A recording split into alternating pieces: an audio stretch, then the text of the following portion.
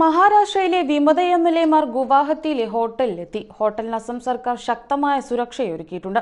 മഹാരാഷ്ട്രയിൽ ശിവസേനയ്ക്കുള്ളിലെ വിമത നീക്കത്തെ തുടർന്ന് സർക്കാരിന്റെ ഭാവി അനിശ്ചിതത്വത്തിലാണ്.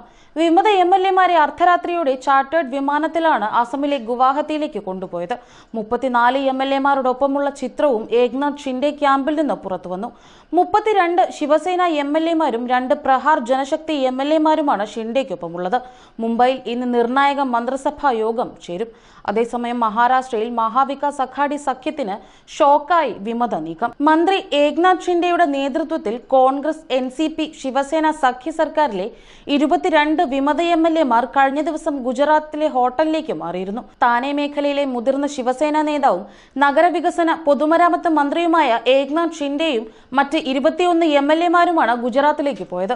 മഹാരാഷ്ട്ര മുഖ്യമന്ത്രിയും ശിവസേന തലവനുമായ ഉദ്ധവ് താക്കറെ ഷിൻഡെയുമായി ഫോണിലൂടെ നടത്തിയ സംഭാഷണം ഇരുപത് മിനിറ്റോളമാണ് നീണ്ടത്. മുപ്പത്തിയഞ്ച് എം എൽ എമാരുടെ പിന്തുണയുള്ളതായി ഷിൻഡെ ഉദ്ധവ് താക്കറെയെ അറിയിച്ചു. ബി ജെ പിക്ക് പിന്തുണ നൽകണമെന്നും അദ്ദേഹം ആവശ്യപ്പെട്ടു. ഉദ്ധവും അജിത് പവാറും ഇപ്പോൾ കൂടിക്കാഴ്ച നടത്തുകയാണ്. എൻ സി പി അധ്യക്ഷൻ ശരത് പവാർ എട്ടു മണിയോടെ മുംബൈയിൽ എത്തുമെന്നാണ് വിവരം. അതേസമയം വിമത നീക്കത്തിന് പിന്നിൽ പങ്കില്ലെന്നാണ് ബി ജെ പിയുടെ വാദം.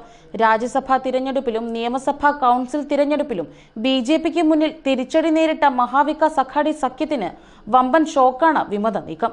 ശിവസേനയിലെ മുതിർന്ന നേതാവും നഗരവികസന മന്ത്രിയുമായ ഏക്നാഥ് ഷിൻഡെയാണ് കഴിഞ്ഞ ദിവസം അർദ്ധരാത്രിയോടെ സൂററ്റിലെ മറീഡിയൻ ഹോട്ടലിലേക്ക് എം എൽ എമാരുമായി പോയത്.